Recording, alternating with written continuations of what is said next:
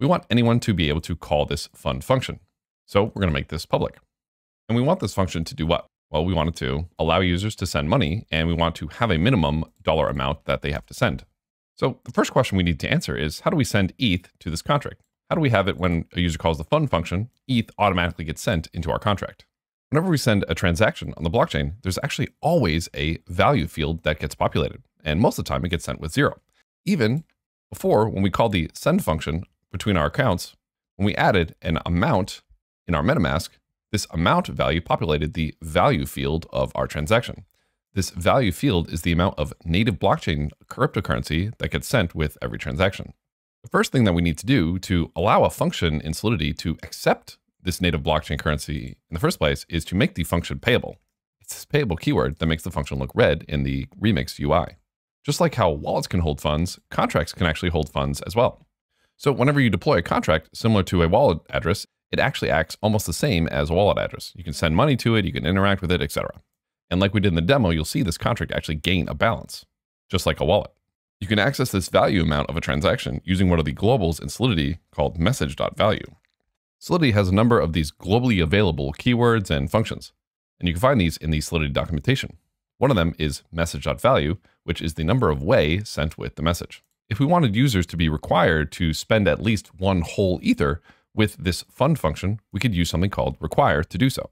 In order to do that, we would add this line, require message.value is greater than 1e18. And there's a couple of things to unpack here. 1e18 is equal to 1 ether, which is equal to 1, 1, 2, 3, 4, 5, 6, 7, 8, 9, 10, 1, 2, 3, 4, 5, 6, 7, 8. Or put another way, it's equal to 1 times 10 raised to the 18th. In Solidity, a double asterisk or double multiply sign is how you do a power or an exponent. This value here is the value in wei of one Ethereum. In your smart contracts and at the lowest level, this is how they process numbers in this giant wei format.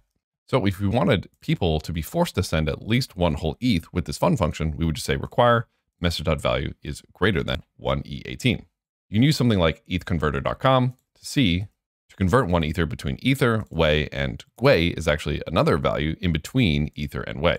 And we saw gwei actually when we saw gas costs. Normally gas costs are shown in forms of gwei. This required keyword is a checker. It's basically saying, hey, is message.value greater than 1e18? If not, then revert this transaction. And if we want, we could add a little revert message. We could say like didn't send enough ETH. We can actually deploy this. We can actually compile and deploy this on a remix VM. Deploy. Scroll down. And if we hit fund, and if we pull up our terminal, we hit fund, we actually see we get this little X here, meaning our transaction didn't go through.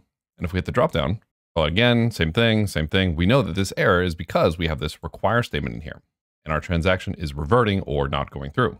So we know that with this transaction, we need to send at least one ETH or, or one E18 wei worth of ETH in the value section of our transaction. So if we scroll up, we can actually just change the unit to Ether, put one in here, scroll down. And now if we hit fund, oh, it doesn't go through because we have strictly greater than. So excuse me, let's do, let's do two. Now we'll scroll down, we'll hit fund. And we see we get a green check mark and we see the fund me balance actually has improved to two. If we update the value to two again, and we scroll down, we hit fund again, we see our transaction went through and we have four.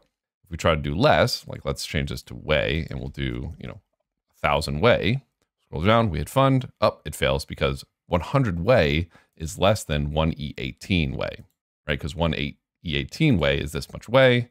So obviously, 1,000 or however much I put in is much less. So this require says if this first section is false, then go ahead and revert with whatever this second section is.